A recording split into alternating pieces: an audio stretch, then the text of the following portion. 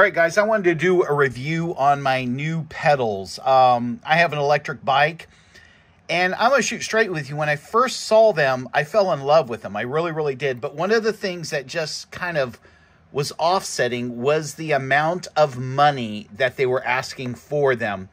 After you receive the pedals, listen, you'll understand why they charge as much as they do. These are very high end pedals, machine grade, very, very nice. Let me just show you a couple things here.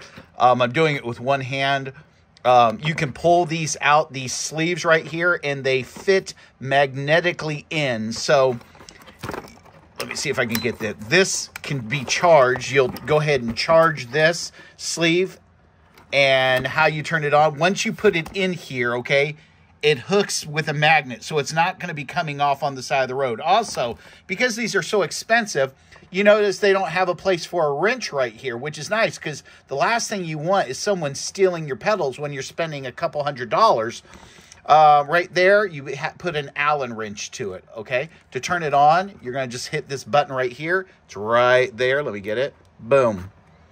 And you can go through the different settings that you want.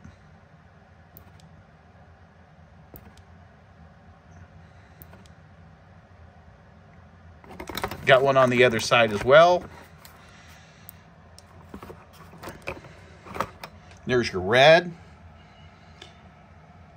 Uh, the build quality is exceptional. Literally exceptional. There is a little bit of weight to the pedal.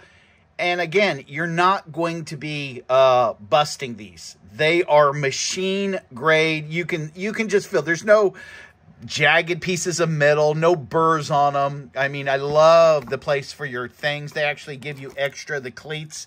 They give you extra cleats in case you ever lose one that you can put those in. Um, I highly recommend these.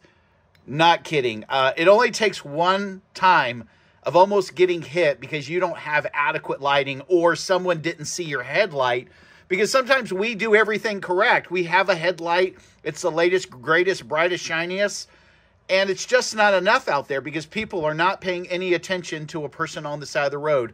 With these, it's just another level of protection. And from what I was reading, you are 57% more likely to be seen having these pedals on your bike I like how wide they are. I like the quality. It is commercial grade. I mean, you can just look at this. This is not cheap. And again, I was set off a little bit by the price. I was like, oh my gosh, that's really expensive.